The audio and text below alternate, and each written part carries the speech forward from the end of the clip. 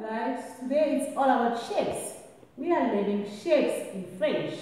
The common shape, the one we know already. Here we have got a circle. A circle in French is cercle. Cercle. This is how we write cercle. It means a circle. And let's see what we have next. Oh, triangle. A triangle is triangle. It is the same as we write it in English.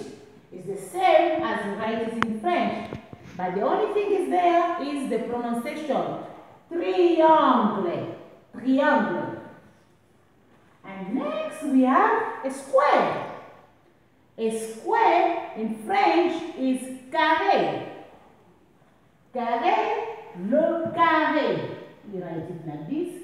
Carré.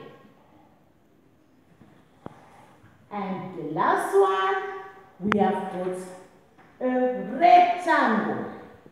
A rectangle, we write it the same as we write in, in French. This is English, in French also we write the same. Rectangle.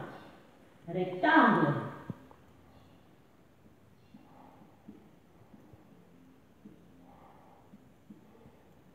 We can start cercle, triangle, carré, rectangle. Cercle, triangle, carré, rectangle. That's all for today. Au revoir.